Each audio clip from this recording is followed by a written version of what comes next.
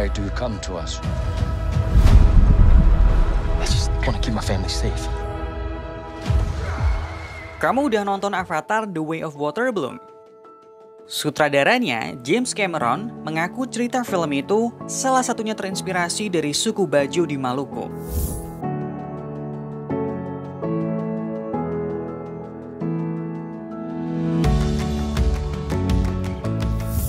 Di sequel Avatar ini, Jack Sully dan keluarganya digambarkan mengungsi ke suku Metkaina yang hidup di perairan. Penggambaran itu sangat uh, apa ya uh, utopian ya, di mana masyarakatnya digambarkan masih sangat dekat dengan uh, alam gitu kan. Uh, alam di sini termasuk binatang dan uh, tanaman gitu ya. Mereka sangat sangat harmonis dan juga uh, di situ teknologi itu absen ya teknologi uh, sama sekali uh, apa uh, teknologinya teknologi uh, primordial ya. Di satu sisi dia menggambarkan uh, Pandora itu ya planet uh, alternatif planet biru suku Navi-nya yang juga warnanya biru gitu ya.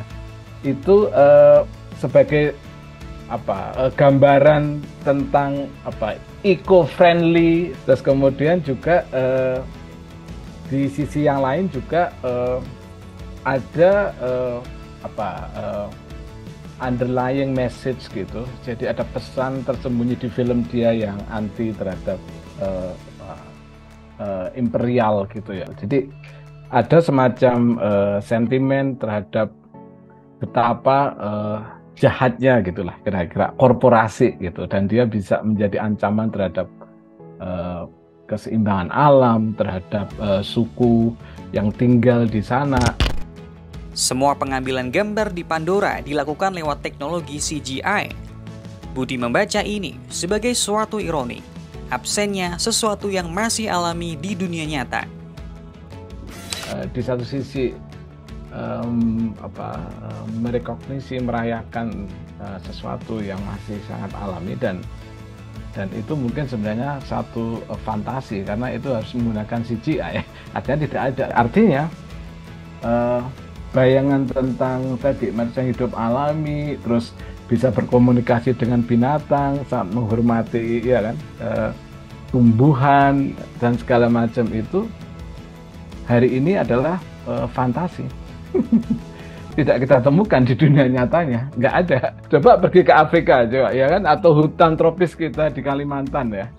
Mana yang masih seperti nggak ada. Amazon beberapa juga sudah dieksploitasi wilayahnya. Jadi itu juga kita bisa baca bahwa sebenarnya film itu uh, juga uh, menunjukkan bagaimana alam yang masih uh, apa belum tercemari yang belum dieksplorasi itu hanya ada di uh, wilayah fantasi, hanya bisa di apa uh, diwujudkan dalam CGI.